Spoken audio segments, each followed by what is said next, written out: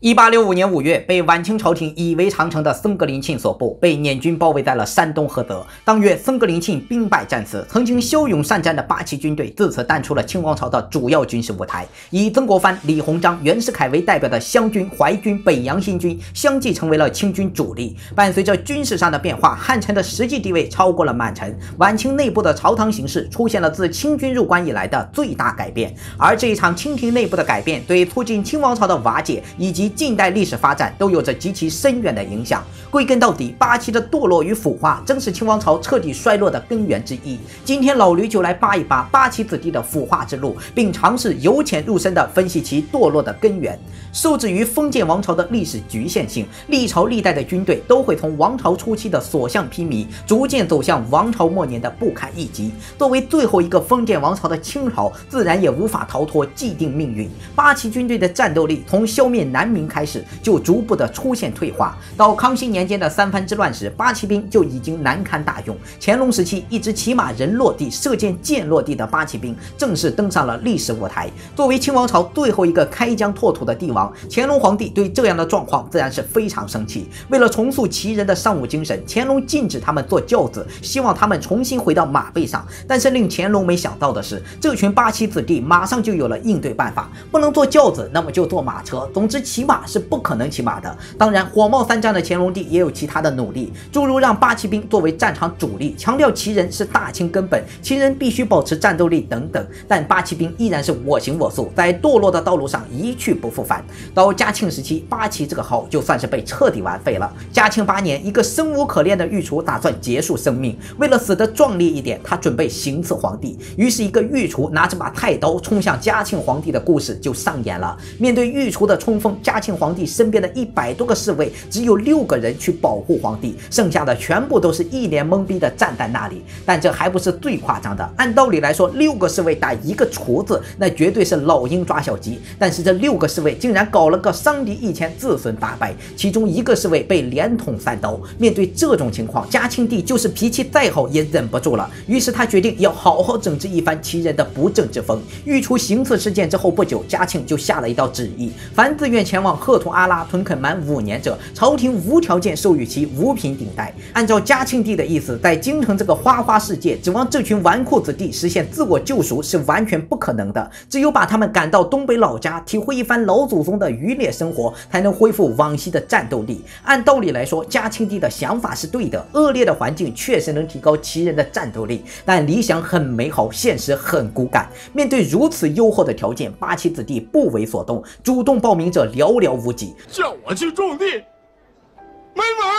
除此之外，旗人们还组织起来向嘉庆进言，要求他停止这种错误的想法。面对讨价还价的旗人，嘉庆只能用抓阄的办法，硬凑了三千人送到关外锻炼。但人算不如天算，嘉庆帝根本无法想象旗人们堕落到什么程度。负责管辖赫图阿拉的圣经将军在收到文书后，立马慌了神。在他眼中，这群人可不是一般人，这完全就是一群祖宗级别的人物。要是哪个在辽东饿死了或者累死了，那他一定是吃不了兜。兜着走，于是圣经的官员马上就行动了起来。首先，赫图阿拉是不能去了，那鬼地方，锻炼人是真的锻炼人，但是要啥没啥的生活，京城来的大爷们哪能受得了？为了切实解决这个问题，圣经官员在沈阳附近修了一批房屋，并圈养了一些牲畜。除此之外，他们还雇了一堆仆役来伺候这群八旗大爷。但即便在这种情况下，那三千旗人还是住不惯。为了回到京城，是八仙过海，各显神通，纷纷找关系上书诉苦，希望皇帝能。收回成命，嘉庆皇帝对于这种要求自然是不会同意。这些旗人眼看大路走不通，就开始走小路，私自逃回京城。面对这群扶不上墙的烂泥，嘉庆帝彻底火了，表示要杀人。可即便如此，嘉庆也没能阻挡八旗大爷们回到京城。一部分没有逃跑的，在沈阳也没干什么好事，每天除了烟酒茶馆、戏园子，几乎没啥正事。至于皇帝交代的屯垦任务，则由他们花钱雇来的当地人完成。这件事发展到这里，嘉庆帝终终。于认识到八旗子弟是彻底练废了，无奈的放弃了对旗人的整治。从此以后，八旗制度开始呈现断崖式的腐化。到道光、咸丰两朝的时候，八旗子弟彻底沦为了朝廷的寄生虫。无论是在鸦片战争中，还是在太平天国战争和捻军叛乱中，八旗军队的战斗力怎是一个稀烂就能概括？最终使得晚清朝廷需要依靠地方军头来维持局面。面对这种不利形势，晚清朝廷自然也是看在眼里。慈禧太后不止一次的希望重振八旗雄风，如颐和园的海军学校就是慈禧太后为了让旗人掌控海军的尝试。可是这群提笼架鸟的大爷们根本就无法适应海上生活，纷纷托关系游说朝廷。无奈的慈禧太后只能让他们回到了京城。甲午战争后，随着淮军的崩溃，慈禧太后又有了重振旗人的想法。在荣禄组建的五卫军中就有一支旗人军队，但荣禄和慈禧还是被现实狠狠地打了一巴掌。对当时的旗人来说，打仗是不可能打仗的，所以这支五卫军最终也只能无奈的吸纳汉人作为主力，其人仅仅充当着部分军官。后来，这支军队在与八国联军的战争中得到了检验。面对鱼目混杂的联军，他们基本上就是一哄而散，与他们祖先的骁勇形成了鲜明对比。如果说一九零零年旗人还能在战场上为清王朝表演一下的话，那一九一一年的旗人就连表演都懒得表演了。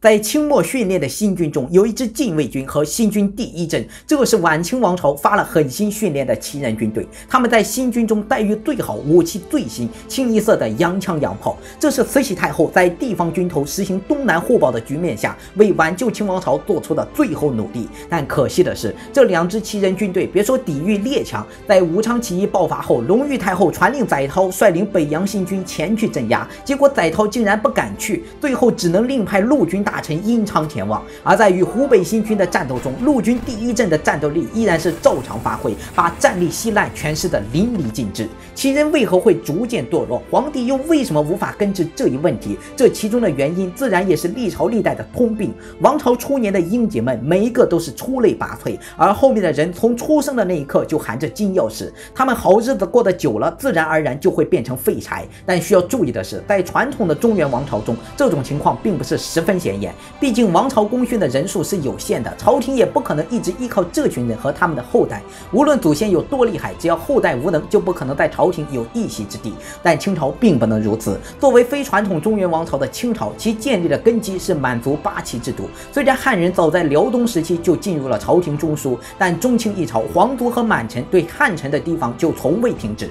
晚清重臣李鸿章在德国会见俾斯麦时，就曾经说过：“为大臣者欲为国家有所尽力，而满庭意见与己不合，群策其州。”在这种情况下，旗人集团就算再烂，也会被留在朝廷中枢，皇帝不能动，也。不敢动，这种畸形的架构，最终使得逐渐腐化的八旗子弟成为了清王朝最不应该存在却又必须存在的群体。而鉴于朝廷架构的畸形，注定了皇帝在面对旗人时只能单打独斗。他既不能用汉臣打击旗人，又不可能拉拢旗人打击旗人。既然皇帝没有铲除旗人的能力，那旗人自然也就我行我素。在康熙、乾隆这种比较有为的皇帝掌权时，旗人的堕落还能比较收敛。但从乾隆晚年开始，原先强势的君主不。复存在，皇帝往往会在对旗人的改革中雷声大雨点小。随着历史的推进，八旗子弟也就就成为了已经烂透却不能抛弃的寄生虫。历史皆为过往，现在的已经成为过去，未来的才是现在。我是老驴，下期再会。